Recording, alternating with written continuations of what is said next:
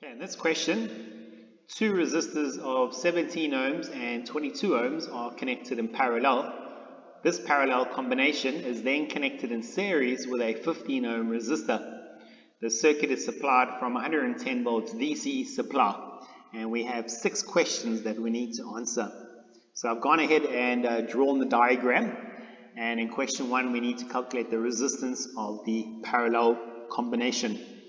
Now to calculate the resistance of the parallel combination R parallel, you can use the uh, product sum rule, product on top, sum at the bottom. So it'll be 17 multiplied by 22 over 17 plus 22 ohms. And that will give us the resistance of the parallel branch. Let me just grab my calculator and check that answer and that will give us 9,59 ohms. Okay, next question, 4.2. To calculate the resistance total of the circuit, it will be the resistance of the parallel branch plus the resistor in series, which is called R3.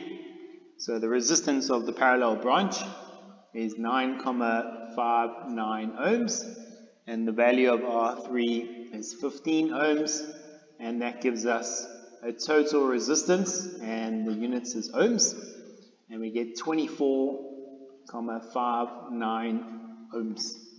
Okay, moving on to 4.3, calculate the total current drawn from the supply. So to calculate I total, it will be V total over R total. The total voltage is given to us, it's 110 volts, and the resistance total 24,59 and therefore the current in amperes will be 4,473 amperes. Okay, moving on to 4.4. Calculate the volt drop across the parallel combination. So therefore the parallel will be equal to, now if you have a look over here, I total enters the entire parallel branch and leaves the parallel branch. So we're going to be using I total times the resistance of the parallel branch. Okay, so I total entering is 4,473.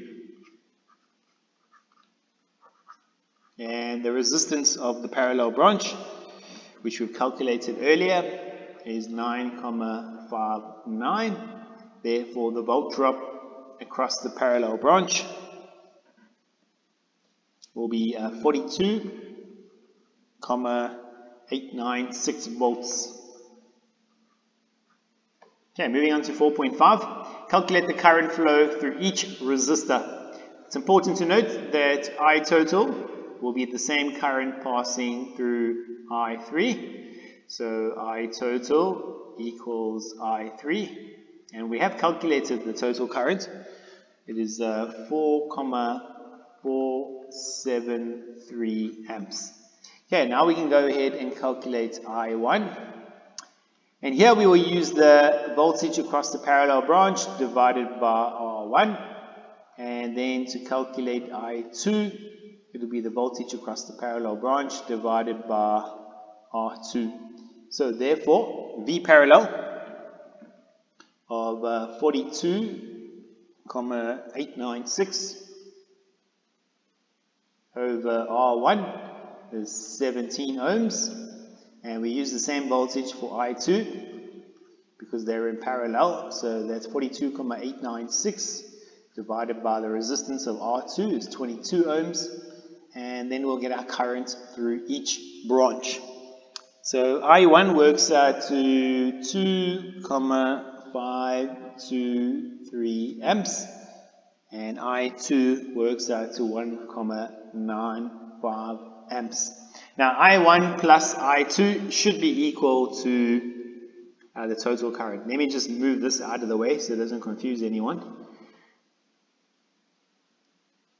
Okay, let's move on to the last question, 4.6.